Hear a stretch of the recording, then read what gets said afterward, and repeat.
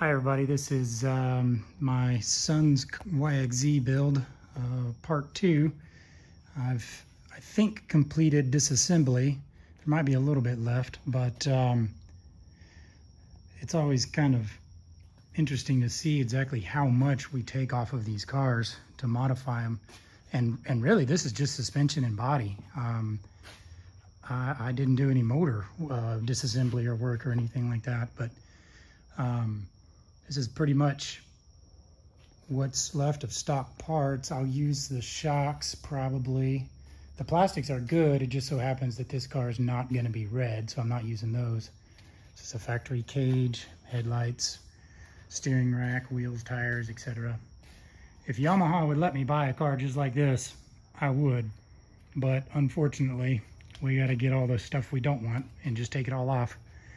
Um, so pretty much what you see is, is, is where I'm going to begin with reassembly with the new parts uh, that I went over on, on, on, last, on the last video. But um, reuse the factory hubs and knuckles.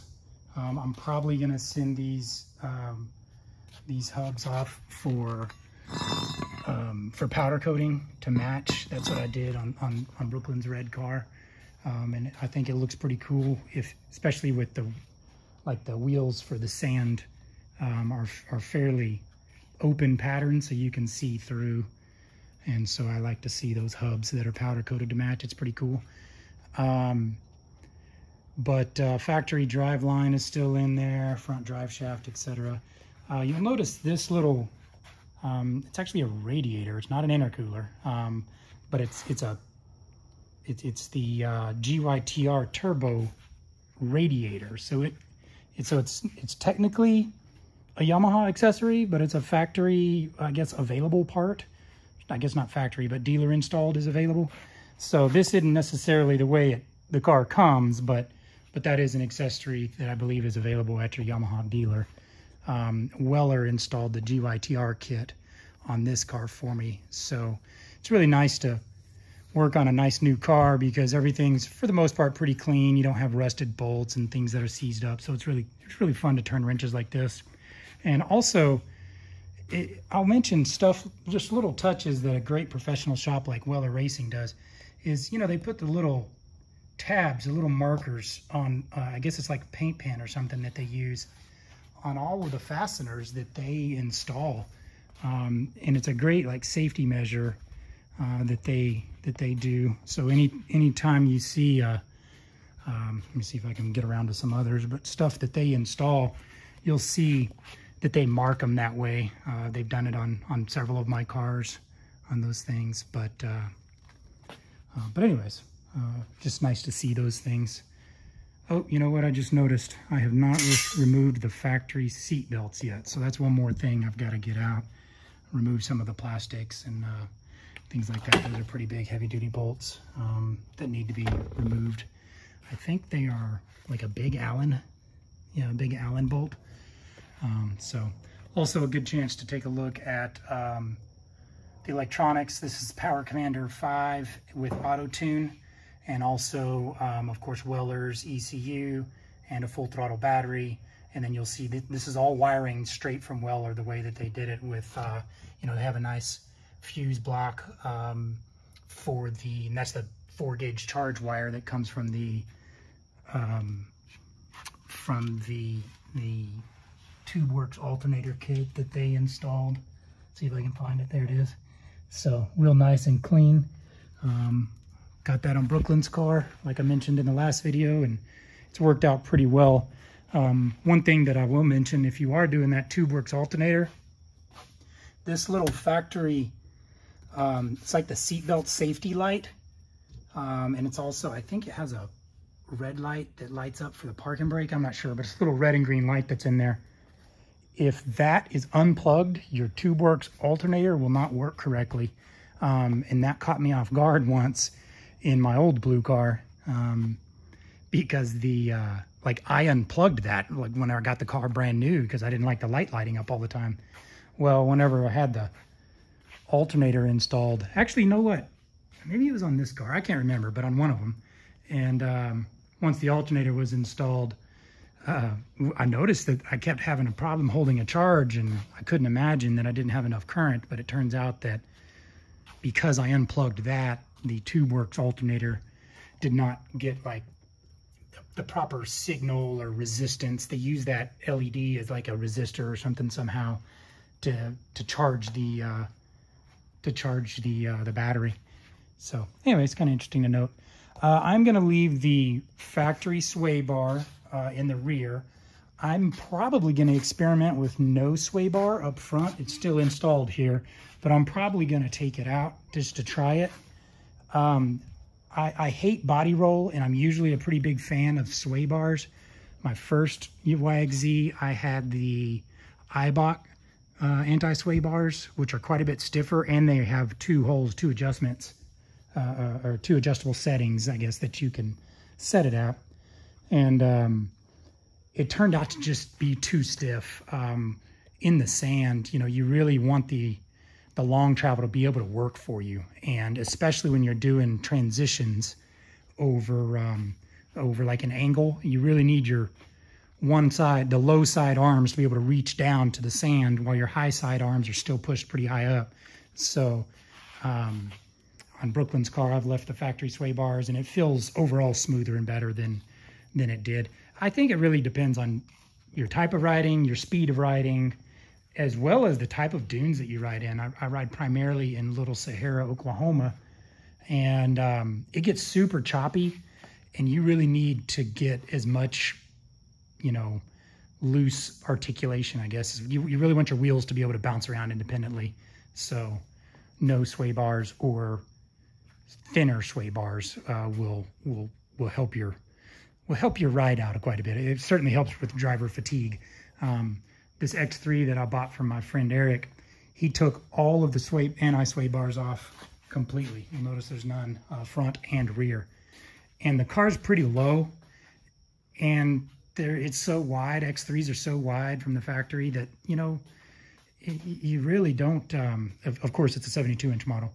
Uh, you really don't have to have the sway bars. So I've, I've really enjoyed that car just fine with no sway bars at all. So I'm going to experiment with it a little bit with, uh, with these Yamahas. Um, at least on this one while I've got it all apart. So anyways, um, this is what a stripped down uh, Yamaha YXZ chassis looks like with with none of these parts on it. Suspension, seats, body, and cage um, is really all that's missing here. Oh, and lights, I guess lights too. It still has all the motor and all of the like panel plastic and stuff still in there. So, um, um, so it's not completely stripped down. I'm sure all of y'all have seen a Yamaha frame just sitting up on jack stands before. Uh, a couple of things while it's apart. My key is still together. You can't really see much here, but like if you've got a 2016 to 2018 model, the frame is a little bit different in a few places. Uh, these tabs are usually something that I notice. These are, um, I guess Yamaha offers an accessory, like little, little lights, I guess, auxiliary lights, I think is what they call them, that can go in the grill. So those tabs are there. Um, I'm not using them on either one of my cars. So here's Brooklyn's car. You can see those tabs in there not being used, but you know, Yamaha from the factory offers little little bulbs that go right there. But those tabs you can see, and of course there's new tabs in the back for the radiator uh, that's now rear located and things like that. But uh, I don't have it apart enough to see that. I went ahead and took the steering rack out as well. Um, I don't know if Yamaha made a change in the way that these are welded now, but on Brooklyn's 2019 YXZ 1000 SS uh, Sport Shift model, those four little, here's what they look like. They're four little, um, they're not even, I guess they're kind of a nut that the Yamaha um, just kind of tack welds on. Anyways, they, they just tapped out like, like you almost didn't even need to hit them with a tool or anything. You could almost just spin the bolt and make them come off. They're so super weak. Uh, but on this car, this is a 2020. It's only one year model newer. They were quite a bit harder to get out. So I don't know if Yamaha just has a inconsistent welding machine to do that or what, but Um, I had to work quite a bit and I kind of bent this plate a little bit to get those out. Um, you can see the marks there and you can kind of see how it's bent a little bit.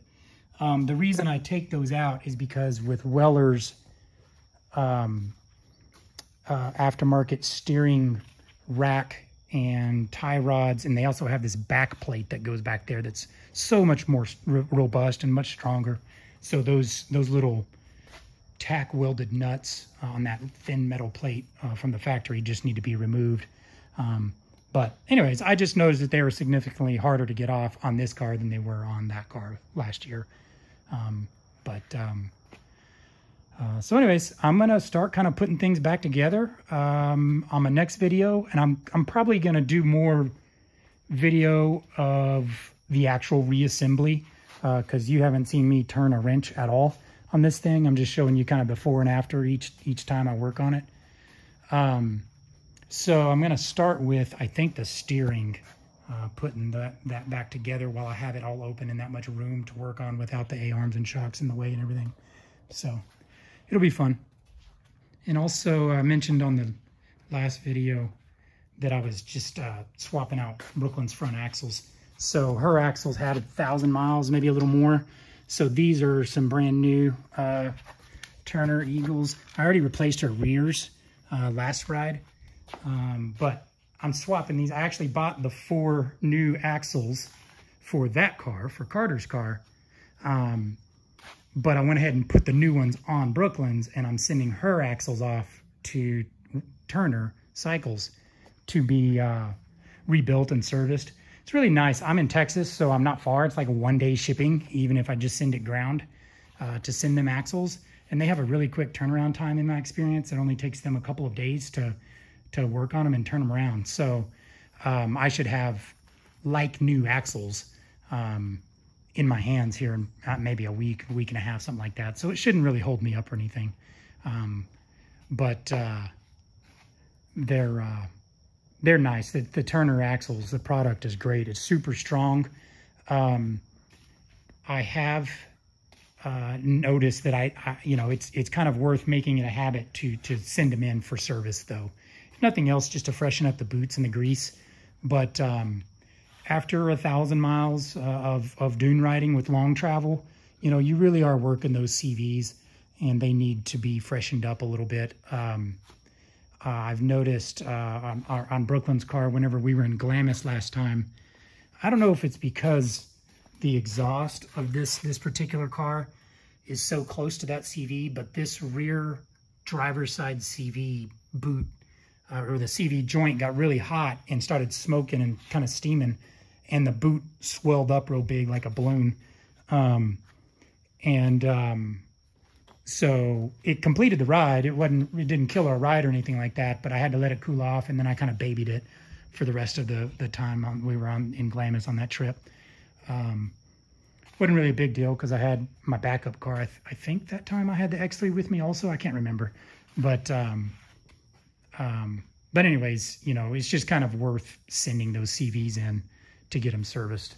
And, and Turner is in my experience, very reasonable on their rates um, uh, to do that. It's it's they they replace the boots, so you got to pay for the boots. It's like fifteen dollars or something like that for the boots, and and um, and then it doesn't take them much time at all, and you basically get a brand new axle. Uh, they they still, I think, reuse your same hard parts, but whenever they come back to your hands, they they look like they are brand new. They're nice and freshened up and whatever. So anyway, so I'll get those out of the box um, whenever I receive them and, and they'll be on one of these videos.